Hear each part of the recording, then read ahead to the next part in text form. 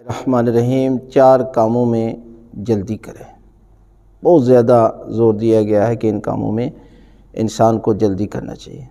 पहला यह है कि नमाज़, जब अज़ान हो जाए तो फ़ौर आप जो है वो नमाज़ अदा कर लें। अगर सुस्ती करते रहेंगे और नमाज़ जो है वो आपकी कज़ा हो जाएगी। लिहाजा फ़ौर जब नमाज़ का टाइम हो जाए तो नमाज़ अदा करें।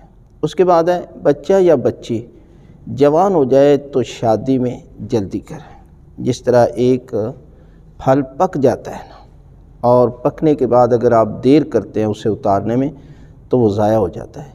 इसी तरह जब बच्चा और बच्ची जवान हो जाते हैं, शादी नहीं करते तो ये ज़ाया हो जाते हैं।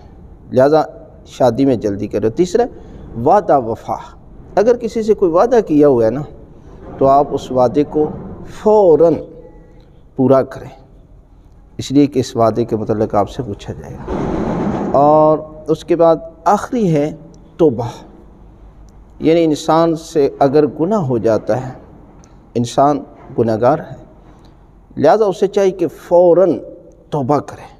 हो सकता है कि एक लम्हे के बाद वो दुनिया से चला जाए और तोबा किए बगैर अगर चला गया तो यकीनन बहुत बड़े अजाब में मुबतला होगा। अगर तोबा करके गया तो मासूम फरमाते हैं, ऐसे है कि जैसे माँ के पेट में अभी आया। लिहाजा इन चार कामों में हर सूरत फ़ौर एक्शन लेकर आपको जल्दी करनी चाहिए।